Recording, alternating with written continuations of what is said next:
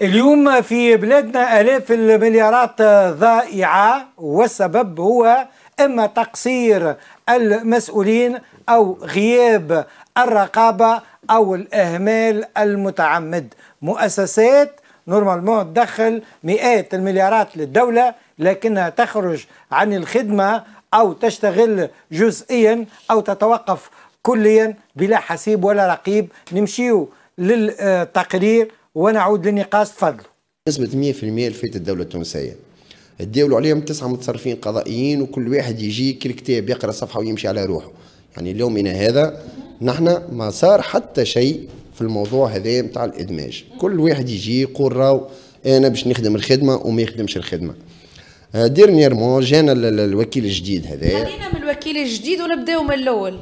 ساعة بعد الثورة مباشرة أنتم كخدامة شنو عملتوا آه نحن اللي عملناه بعد الثورة وقعدنا محافظين على المؤسسة نتاعنا باش ما تصيرش فيها حتى مشكل على خاطر أغلبية الناس في الوقت هذاك تعرف ليه المؤسسة هذه تصنع ال cigarou. ومن بعد كي آه، فاقت العباد ونحن اللي وريناهم ووصلنا دخلنا العباد للمؤسسة باش اقتنعت العباد اللي الشركة هذه راه ماهيش تصنع في دخان راهي تصنع في فلتر نتاع cigarou ما عندها حتى علاقة بالدخان. وقعدنا هكاكا يعني نحن الوقت هذاك اللي يجي يقول راهي الشركة هذه اللي تصادرت بنسبة 100% لفائدة الدولة التونسية. طمعين الحقيقة؟ نحن في الشركات هذيا يعني في الدوامة في الديمومة نتاع العمل نتاعها يلزمها تخدم يلزم خاطر نحن خدامة رانا نسقطوا منها فهمت؟ نحن عمله في في في نهاية الأمر. المؤسسة نتاعكم اللي أنت تخدم فيها شنو تعمل بالضبط؟ نحن نصنعوا فلتر سيجارو. قلت لي يسميوه آه, آه، الفلتر سيجارو يعني شركة اسمها والفلتر نحن نصنعوا الصفاية تاع السيجارو اللي هي المكمل تاع الدخان. يعني نصنعوا في الذهب الأبيض نحن. voilà. قلت لي سميوه ذهب الأبيض. ذهب الأبيض. علاش سميوه ذهب الأبيض. على خاطر تشري يعني كما نقولوا نحن كعبة فلتر. يعني هو باكو دخان فيه 20 سيجارو كي تعمل ثلاثة كعبات فلتر يعني نجموا يعملوك باكو دخان. تنجم تبيعوا باكو دخان انت ب 5000 تو ب 4000 واش باكو légère نحن نخدموا في matière نتاع légère فهمتني؟ يعني كي تخدم أنت برشا تاخذ marché فيه مليار ومليار و400 يعني الشركة دخلت برشا. مش فلوس مليار و400 filtre. filtre bâtonnet de cigarette يعني واللي هي الفلتر تعمل قداش من كعبة؟ الفلتر تعمل ستة سواقر. تعمل ستة سواقر. ستة سواقر. ثلاثة كعبات يعملوا باكو دخان. ثلاثة كعبات وربع بالضبط يعملوا باكو دخان. باكو دخان شوف قداش يتباع. والتكلفه نتاع كعب الفلتر ما تكلفش برشا. قلت لي المؤسسه نتاعنا شرشاره نتاع فلوس. شرشاره نتاع فلوس. ميزابة نتاع فلوس. وفلوس وين ما فماش. فلوس بح ما فماش تقول وين الفلوس؟ يقول لك راني راني نخلص راني نعمل راهو شريك راه ما نعرفش نحن وصلنا يعني تو نحن في شهر آه، فيفري نحن خلصنا في شهر فيفري. à savoir في آه، أفريل نخلصوا نخلصوا ولا في مارس نخلص ولا فهمت كيفاش؟ يعني الشركة طاري أمورها مضعضعه سواء ماديا وإلا الماكينات زاد الماكينات كبرت وتعبت وما عادش تجاوبك 100% خاطر ما فما حتى واحد يعني تو نحكي لك كان الوقت الحاضر السيد اللي شاد الشركة ما هوش قاعد يسير في الشركة. قداش من متصرف تداولوا عليه تسعة. تسعة. تسعة. فيهم واحد شاد 24 ساعة. قداش 24 ساعة. علاش ما نحا. جاء في قرار باش ينحيوه والسيد هذا اللي شد 24 ساعة كنا نحن متفائلين اللي هو كونه باش يكمل الخدمة نتاع اللي قبله.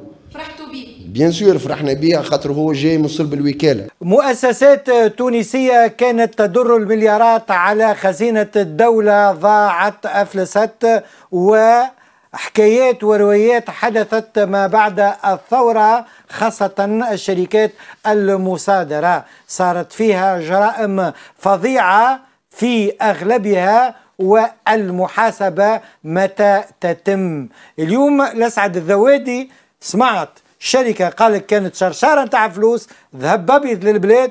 نحكيو على الدومين نتاع السجائر الوكالة الوطنية للتبغ والوقيد ضايعة تصنع في مصفات السجائر ضايعة والتهريب ماكل البلاد. هذا ما له إلا مثال على ما يحدث في بقية القطاعات اليوم من المسؤول. أي سيدي تبع تبع الغرزة كانك خياط. سيدي حكاية هذه الشركة هذه متاع ولد أخت بن علي. صودرت لأنه هو مشمول بالفرع الأول من مرسوم المصادرة. اتخذ القرار سنة 2012 بدمجها صلب الوكالة. ها ملف فساد.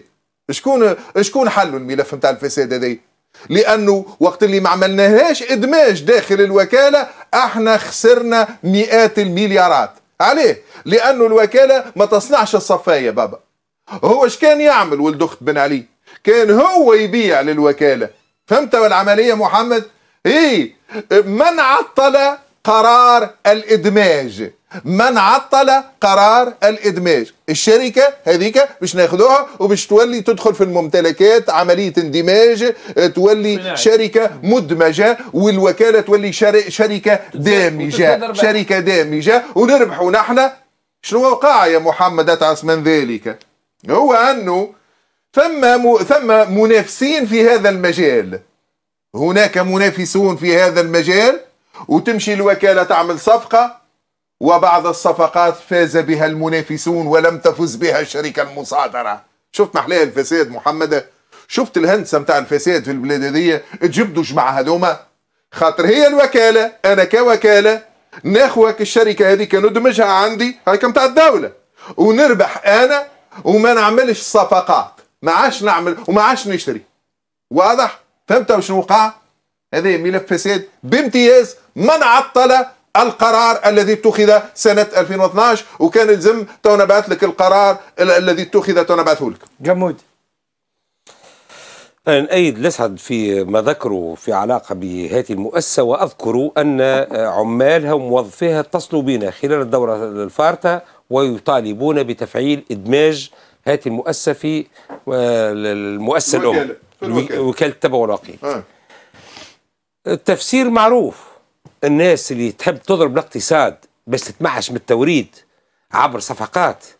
هذا عشناه في الفلاحة وعشناه في ضرب النسيج الصناعي اللي عندنا في علاقة قطاع النسيج والجلود والأحذية عشناه في القطاع الفلاحي الناس تتمعش من البذور الموردة وتوريد القمح وغيره.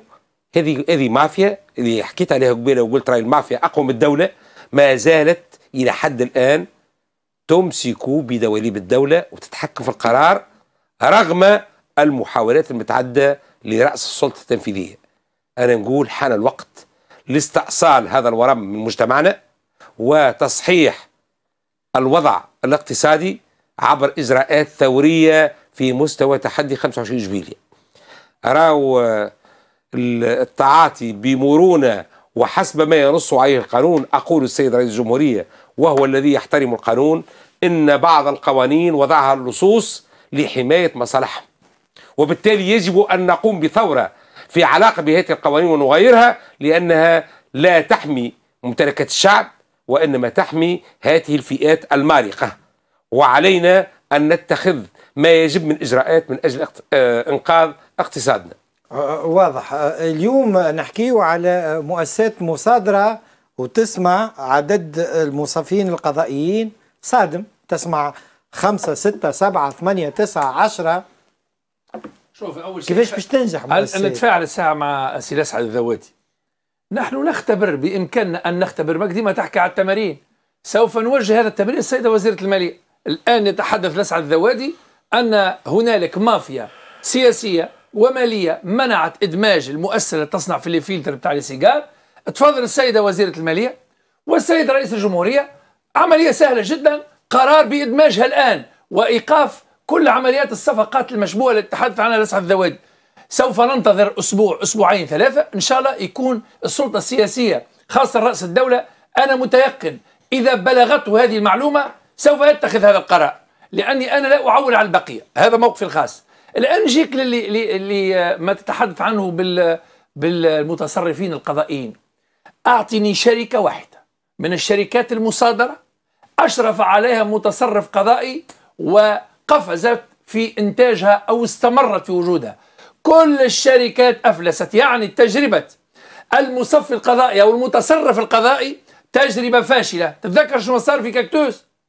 المتصرفة الأولى هربت إلى الخارج وتلاحقها قضايا آه، جزائية والمتصرفة الثانية بنفس الطريقة. ونأكد لك لو لو تنجز تدقيقات في كل المؤسسات المصادرة حول طرق التصرف والحوكمة والإدارة وإدارة الأموال في هذه المؤسسات. ومن تمعش جميعهم سيزج بهم في السجن. ونقول لك حولوها إلى غنيمة.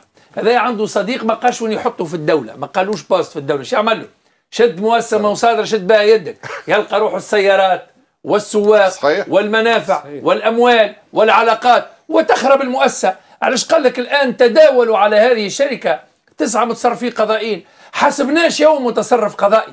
حتى المتصرفين الاثنين نتاع كاكتوس كان في جزء منه لأسباب سياسية. كل المتصرفين القضائيين وللأسف الشديد أساءوا التصرف في هذه الإدارات والمفروض أن يلاحقوا قضائيا شكون يغطي عليهم؟ اما البعض شكون البعض تمت ملاحقتهم. شكون البعض. قله قليله شكون قلة. يغطي عليهم؟ البعض. شكون يغطي عليهم؟ نسحب أه؟ وزارة المالية. ونقولوا كلام هذايا. لجنة المصادره ما نقولوا الكلام هذايا. يجب أن نتحدث الآن من أفسد هذه الشركات شركة بريكوراما بريكوراما مسكرة منذ آه، سنة 2011 تحولت إلى خرابة. خرابة بالخرابات. أو كنت نجم تستغلها أنت لفائدة الدولة. هذه الشركة كان بإمكانك ضمها. نقول لك مسألة أخرى. أنا أشرت للمعسل. بودي أن رئيس الجمهورية يفتح ملف المعسل يعني هذا ميزاب بتاع أموال. المفروض انه تاخذوا الدولة. لا جاوا في عهد نظام بن علي. أفردوا وخصصوها كغنيمة لعائلته هو من هاو عائلة هاو باش نعطيكم سكوب وعلى مسؤوليتي فما إطار سامي في الوكالة الوطنية للتبغ والوقيد عمل مشروع كامل لصناعة ال- المعسل.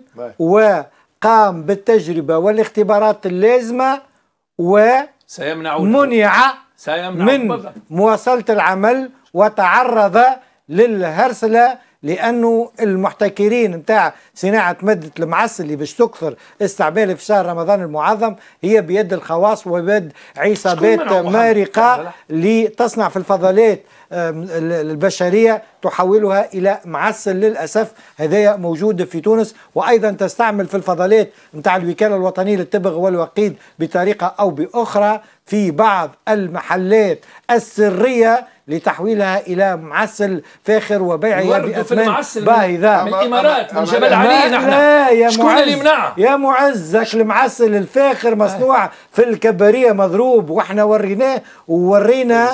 اللي قاعد يتصنع. من فضلات بشريه إضافة إلى الزيوت والفضلات نتاع السجاير لتخرج من أما, الوكالة. أما. محمد ثم مشكلة قانونية يتفرج عليها الوطنيون اللي توا يقدمون في رواحهم يخدموا في الوطن. شنو هو المشكلة القانونية؟ أنه المعسل وجب أن لا يباع إلا عن طريق الوكالة إلا عن طريق الوكالة. خاطر اليوم ثم مشكل كبير.